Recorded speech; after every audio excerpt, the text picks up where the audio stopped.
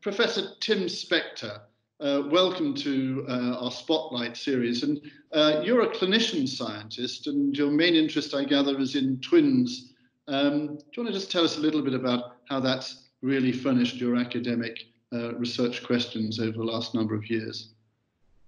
Yeah, well, I've been studying twins for oh, nearly 30 years now, since I first came to uh, King's, and we now have 15,000 twins, and my whole department basically works on this, about 70 people. We've produced about 800 papers, and uh, essentially we've used twins as a model to study any interesting common disease that comes along. And over the years, we've looked at genetics, epigenetics, uh, more recently, the gut microbiome and uh, nutrition.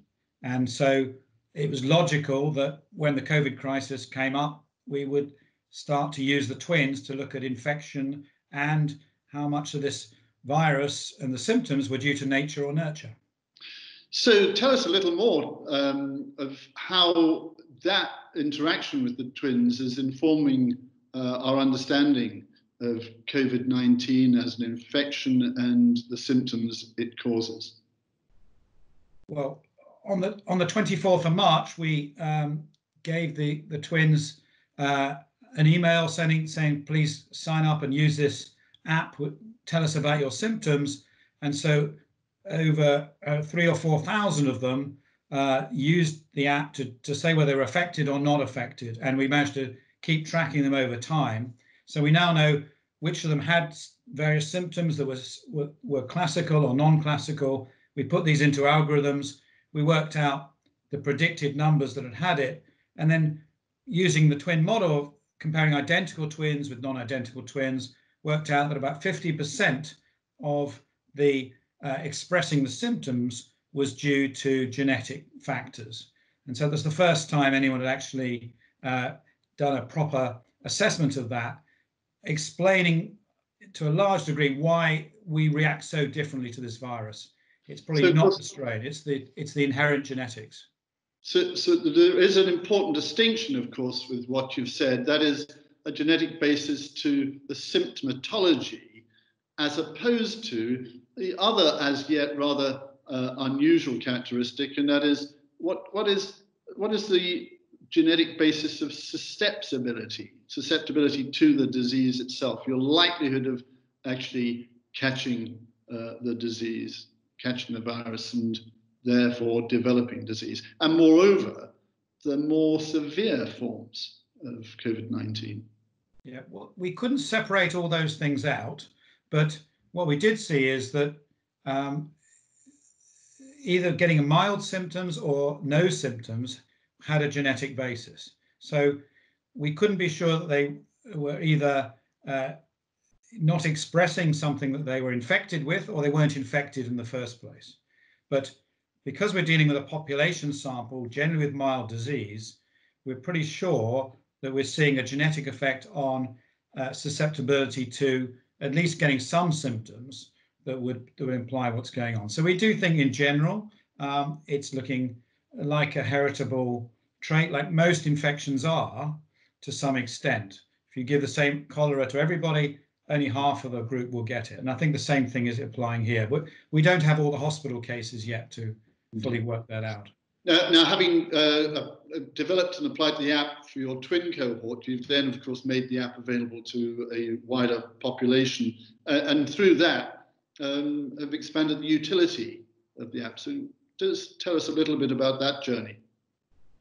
Yeah, so the original idea was just in the twins. We said, well, if it works, let's let's give it to everybody. And amazingly, uh, within 24 hours, a million people had downloaded this app, uh, which was intended just for a few twins.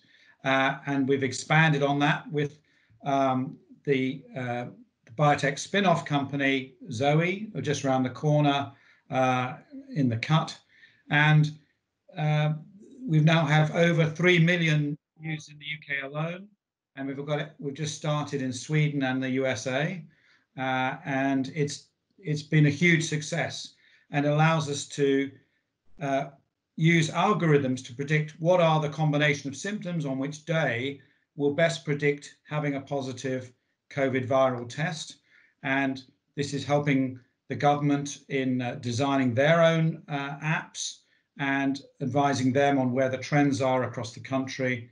And as we get out of lockdown, it's going to be absolutely crucial so we can monitor any hotspots in areas uh, because our symptom app will detect things about a week before a traditional um, track and trace method will do as well. So it's an early warning device that's going to be super helpful. And we've also finding amazing uh, risk factors as well, like drugs like ACE inhibitors showing they have an increased risk of mild disease. Um, we're looking at uh, healthcare workers showing that at 12 times the risk. We've got other data on obesity and diabetes um, and general frailty as well. So uh, each week we're finding some some exciting new element to it uh, just by collecting masses of data on millions of people, and we hope to keep growing those numbers. And then, of course, what you also have is an indication of the number of those 3 million you describe who may well have had symptoms suggestive of uh, the uh, disease and exposure to the virus, and therefore potentially uh, uh folk who could help and contribute to uh, the therapies that are being uh, talked about, not least in terms of using convalescent sera. Is, is, that something you now have had a chance to explore? Yeah, just just in the last week, the um, blood transfusion service contacted us and said, could we work together with you to get the people you've predicted to have had uh, the disease uh, more than two weeks ago, so we can invite them up, check their antibodies, and use their plasma for the trials going on at King's. And uh, that that's a fantastic circle, if in a way, of how these uh, all these initiatives uh, by the same university are coming together to work together, and that really emphasizes how much everything I've done has been a team effort uh, from uh, you know the spin-off company Zoe that we've been working with nutri- on the nutrition field, uh, designing the app. Then the ana- analytics, we're working with Seb Ourselin's team on uh, on the big data. They're coming from the image group, and they've been fantastic at, at this. And then we've also got um, Mike Malim's team on the immunology have been helping us uh, design the antibody tests, and we're going out to the twins to collect all their antibody status as well in, in real time and see how that those antibodies are changing and how much of those antibody responses are also genetic, which is going to be fantastically important to see how resistant we can get uh, to the virus and helpful for all the vaccines. So it's and, it's all come together fantastically well very quickly. And one imagines, and this is probably going to be my last question, uh, there is going to be through this a mechanism by which you can look at what the longer term uh, impact uh, of this condition is on those folk who have been contributing uh, through your app uh, to this data acquisition.